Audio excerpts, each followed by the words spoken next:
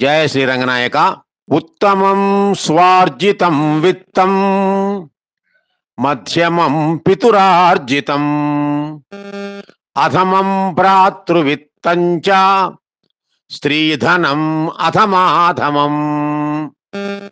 ఇది ఒక చక్కనైనటువంటి శ్లోకం. సమాజానికి ఒక మంచిని తెలిపేటటువంటి శ్లోకం.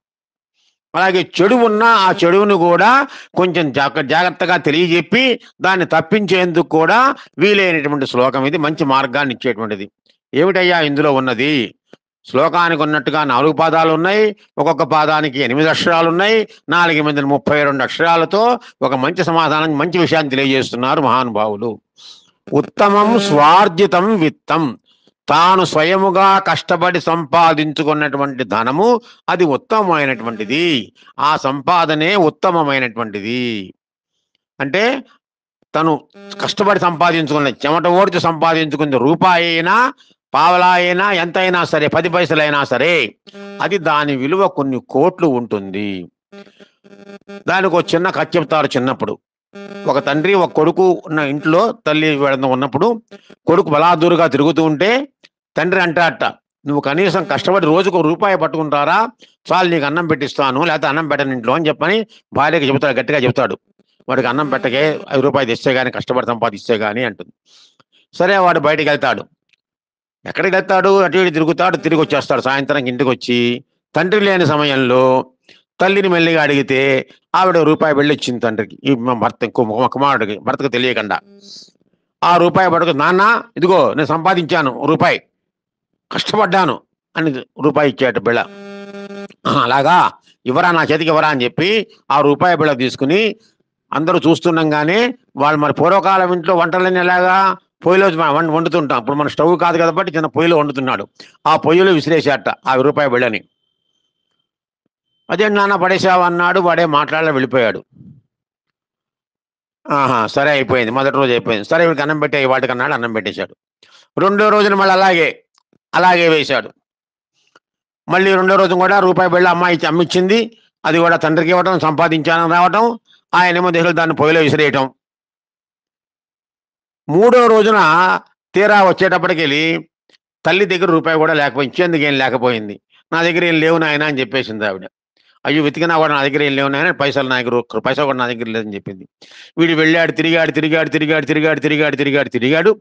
ఆఖరికి ఒకళ్ళు ఎవరో ఒక ఇనప కొలిమి ఉంటుంది కదా అక్కడికి వెళ్ళాడు. కమ్మరి వాళ్ళు అంటారు వాళ్ళు. వాటన్నిటిని ఇతడి సామాన్లు అవన్నీ పెట్టి వాడు సాగదీస్తూ ఉంటారు అన్నమాట. కాల్చి సాగదీస్తుంటారు దాన్ని పెట్టి అక్కడికి వెళ్తే వాళ్ళు ఏమన్నారట? ఒక స్థుతి చేతికి ఇచ్చి ఈ స్థుతితో నువ్వు దాని మీద కొడుతూ కొడుతూ ఉండు మధ్యాహ్నం సాయంకాలం దాకాను. కొడితే నీకు రూపాయి ఇస్తామయ్యా అన్నారట. అలాగే అని ప్రారంభించాడు. కొడుతూ ఉంటే చెయ్యంతా బొబ్బలేకపోయిన అలవాటు లేదు కదా. మనం గొడ్డలతో ఏదైనా నరికే ప్రయత్నం చేసినా అంతే. అలవాటు లేకపోతే చేతులన్నీ రాడు కొంచెం పొక్కులాగా ఎక్కుతాయి కాయల్లాగా కాస్తాయి. అందులోంచి రక్తం వాడటం అని జరుగుతూ ఉంటాయి మన మనకి. అలా చేతులన్నీ కాయలు కాచిపోయినాయి. అయినా సరే కష్టపడి మొత్తం మీద సంప కొట్టి కొట్టి కొట్టి మొత్తం మీద కష్టపడి రూపాయి సంపాదించుకున్నాడు. ఇంటికి పట్టుకెళ్ళాడు. ఇంటికి పట్టుకెళ్ళి నాన్నగారు ఇదిగో నేను సంపాదించానని చెప్పి రూపాయి బిళ్ళ ఇచ్చాట. అలాగా అని చెప్పి గబగబా పట్టుకొచ్చి మళ్ళీ వాడు చూస్తుండగానే ఆ రూపాయి బిళ్ళను కూడా ఆ పొయ్యిలో పడేసేట మనం పడేస్తుంటే పడేస్తున్నాను నాన్న అని చెప్పి గబగబా వెళ్ళి ఆ పొయ్యిలోంచి ఆ పొయ్యిలో ఉన్న కట్టెలను పక్క లాగేసేసి ఆ రూపాయి బిళ్ళను తీసి దాన్ని దాని మీద నీళ్ళు పో- నీళ్ళు పోసి దాన్ని కడిగేసి దగ్గర పెట్టుకుని జేబులో పెట్టుకుని ఇది నా రూపాయి నాన్న నా కష్టార్జితం నాన్న అన్నట్ట అప్పుడు అన్నాడు తండ్రి ఇదిరా అని అసలైన కష్టార్జితం. సొంతంగా సంపాదించావు కాబట్టి దాని మీద నీకు భ్రమత ఎక్కువ ఉందిరా.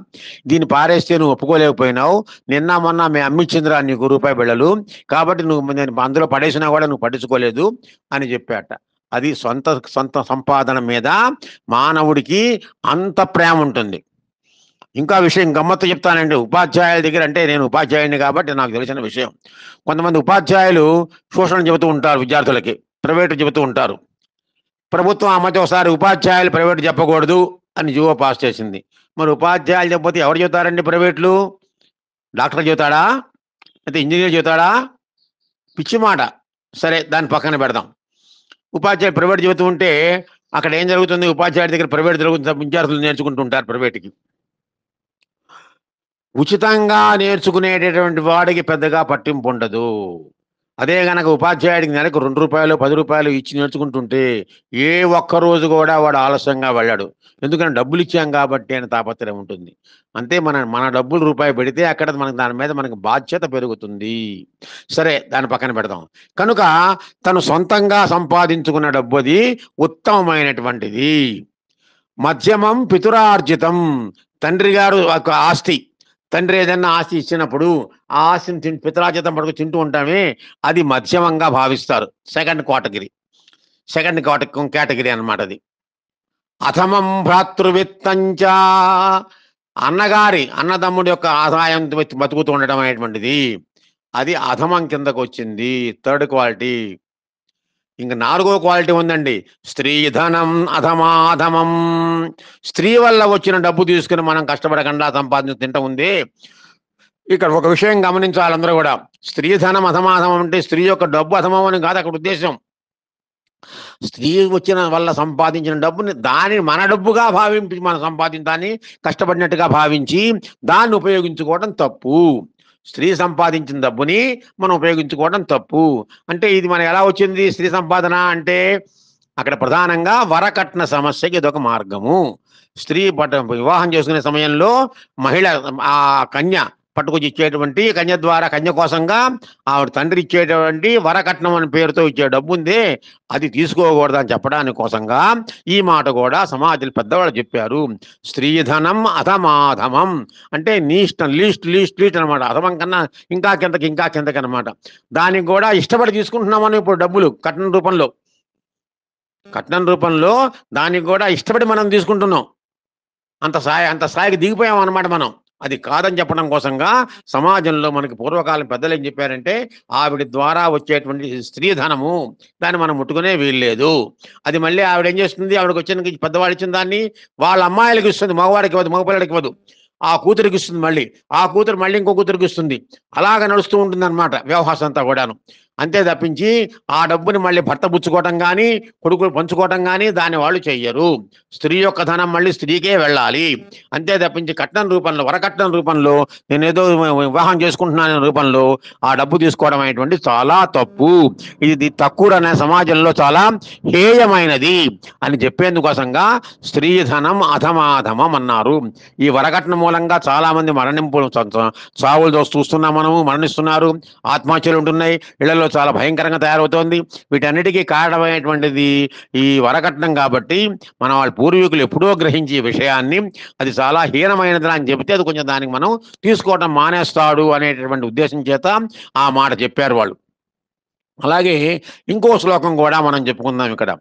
ఉత్తమ ఆత్మనాఖ్యాత పితుఖ్యాతాశ్చ మధ్యమా అధమా మాతులాత్ ఖ్యాత శ్వశురాచ్య అధమాధమా ఉత్తమ ఆత్మనాఖ్యాత తన వలన తాను పొందిన పేరు పొందితే అది ఉత్తమము. అంటే తనంతట తాను డబ్బు సంపా ఉద్యోగం సంపాదించుకోవటం తనంతట తాను ప్ర- సమాజంలో పేరు సంపాదించుకోవటం ఆ విధంగా నిలబడితే అది ఉత్తమమైన స్థానము.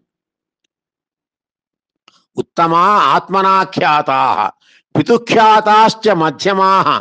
తండ్రి పేరు చెప్పుకుని బ్రతకడం అంటే చెట్టు పేరు చెప్పుకుని కాయలమ్ముకుంటారు అంటుంటామే మనం. ఆ విధంగా తండ్రి పేరు చెప్పుకుని ఫలానా వాడు కొడుకండి ఈయనకి పని చేయొచ్చండి అని చేయించుకోవడం అనేది మధ్యమ స్థాయికి. అది సెకండరీనే. అది ఫస్ట్ గ్రేడ్కి రాదు. మూడోది ఏం చెప్పారయ్యా? పోని తండ్రి వరకు తండ్రి కన్నాడు కాబట్టి అంతవరకు మనం ఒప్పుకుందాం. అధమా మాతులాఖ్యాత మాతుల అంటే మేనమామ. మా తులహ మా అంటే తల్లి తల్లితో సమానమైన వాడు మేనమామ. మేనమామ యొక్క పేరు చెప్పుకుని ఉద్యోగాలు సంపాదించుకోవటము మేనమామ యొక్క పేరు చెప్పుకుని తనకు కావాల్సిన విషయాలను చూసుకోవటము అది అధమము కిందకు వచ్చింది. దాని తర్వాత ఇంకో కేటగిరీ కూడా ఉందండో మనకి మనం వదిలేక్కర్లేదు శ్వశురాచ్య అధమాధమాహ.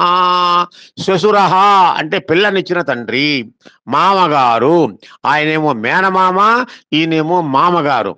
సంస్కృత భాషలో మనకి ఇంత అందంగా వివరాలు ఉన్నాయి అదే ఇంగ్లీష్లో అయితే ఆయన అంకులే ఈయన అంకులే. పాలు పోసేవాడు అంకులే రిక్షావాడు అంకులే. రిక్షా అంకుల్ పాల అంకుల్. అందరూ ఆటో అంకుల్ షాప్ అంకుల్. అందరూ అంకులే అంకులు పెంకుల్లాగా. అందరూ ఆంటీలే. ఇంకా ఆడవాళ్ళు కనపడితే ఆంటీ. ఎవరైనా సరే ఆయన ఆవిడ మేనత్ అవ్వచ్చు లేకపోతే పిన్ అవ్వచ్చు. అంకుల్ అంటే మేనమా మామయ్య అవ్వచ్చు చిన్న మామయ్య పినతండ్రి అవ్వచ్చు. రెండింటికి ఉపయోగించుకోవచ్చు. వాడి పడితే ఏం కావాలంటే అది ఆ విధంగా తయారైంది. కానీ మనకు ఆ దౌర్భాగ్య స్థాయి మనకు పట్టలేదు. దేనికి? ఏ పేరుకి? ఆ పేరు స్పష్టంగా చెప్పారు సంస్కృత భాషలో. తాత అంటే తండ్రి యొక్క తండ్రిని ఏమంటారు? పితామహ. తల్లి యొక్క తండ్రిని ఏమంటారు? మాతామహ. తల్లి యొక్క తల్లి యొక్క తల్లిని ఏమంటారు? మాతామహి. తండ్రి యొక్క తల్లిని ఏమంటారు? పితామహి. అలాగ పితామహ పితామహి మాతామహ మాతామహి అంత స్పష్టంగా మనకి చెప్పింది మనకి సంప్రదాయాలు ఉన్నాయి. సంస్కృత భాష. కనుక ఇక్కడ ఏమందిట? శ్వశురహ అంటే పిల్లనిచ్చినటువంటి మామగారు. ఆయన పేరుతో మనం ఉద్యోగాలు సంపాదించుకోవటము ఆయన పేరుతో మనం ఏదైనా సంపాదించుకుని తినటము ఆయన పేరు ఉపయోగించుకుని సమాజంలో మనం మంచి వాళ్ళ గొప్పవాళ్ళు అవ్వటము ఇది అధమాధమము లీస్ట్ కేటగిరీ. ఇందాక ఎలాగైతే స్త్రీధనం అధమాధమం అని చెప్పారు. ఆ స్త్రీకి సంబంధించిందే కాబట్టి ఆవిడ యొక్క తండ్రి కాబట్టి ఆయన వల్ల కూడా పైకి రాకూడదు మీరు. అంటే నీ పౌరుషం చేత నీ స్వాభిమానము స్వీయ చరిత్రల మరచిన వాడికి అధోగతే అని చెప్పారు మనకి. మనం చెప్పడం స్వాభిమానం మనం పోకూడదు మనకి. అభిమానం పోగొట్టుకోకూడదు. కనుక అభిమానంగా మనం బతకరా అని చెప్పడం కోసంగా ఇంత మంచి శ్లోకాన్ని ఉత్తమ ఆత్మనాఖ్యాత పితుఖ్యాత అస్త్య మధ్యమా అధమా మాతులాఖ్యాత శ్వశురాచ్య అధమాధమాహ అని చెప్పినా కూడా స్త్రీధనం అధమాధమని శ్వశురాచ్య అధమాధమా అని చెప్పినప్పటికీ కూడా ఇంకా కొంతమంది దాన్ని పట్టుకుని వేళ్ళాడుతూ స్త్రీ నుంచి కట్నం రావాలని అక్కడ వాళ్ళని ఏడిపిస్తున్నారు. మేము మావల్ని పట్టుకుని ఆ పిల్లనిచ్చిన మావల్ని పట్టుకుని నాకు అజ్జేస్తావా ఇచ్చేస్తావా అని చెప్పి నానా హింసలు పెడుతున్నారు. ఇవన్నీ పోవాలి అంటే మన పూర్వీకులు చెప్పిన మాటని మన పెద్దవాళ్ళు చెప్పిన మాటను ఒకసారి ధ్యానం చేసుకుని దాన్ని మనం అనుసరించగలిగితే సమాజానికి శ్రేయస్కరం అవుతుంది అనే విషయాన్ని తెలియజేసేందు కొరకుగా ఈ రోజున ఈ రెండు విషయాలు చెప్పడం జరిగింది. రెండు శ్లోకాలను కూడా ఒకసారి మళ్ళీ చెప్పుకుందాం. ఉత్తమం స్వార్జితం విత్తం మధ్యమం పితురార్జితం అధమం భ్రాతృవిత్తం చ స్త్రీధనం అధమాధమం ఉత్తమాత్మనా ఖ్యాతా పితుఖ్యాతాశ్చ మధ్యమా అథమా మాతులాఖ్యాత శ్వశురాచ్య అథమాథమా కనుక దీని యొక్క సారాంశం ఏంటంటే స్త్రీ యొక్క ధనాన్ని మనం ముట్టుకోకూడదు. ఆ మామగారి యొక్క పేరు చెప్పుకుని మనం ఎక్కడ ఉద్యోగాలు సంపాదించుకుని మనం బతకక్కర్లేదు.